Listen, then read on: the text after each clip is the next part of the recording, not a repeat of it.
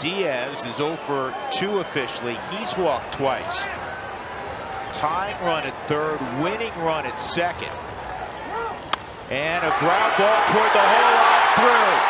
Here comes Iglesias to throw on its way. Saved at the plate. And the Rockies win it.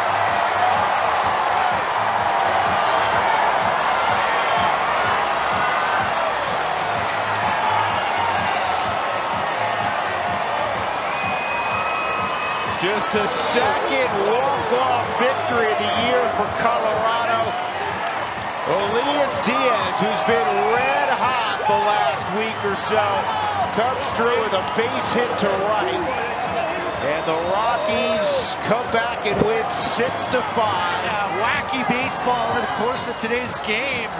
But for Diaz, just fights off a fastball middle in. Righties are hitting 187 against Kendall Graveman. And he just beats Josh Harrison to his left. Three walks. Sayonara. Rockies needed that one in the worst way. So Stevenson ends up with the win. Graveman obviously takes the loss. And for Diaz, his fourth career walk-off hit. And the Rockies prevail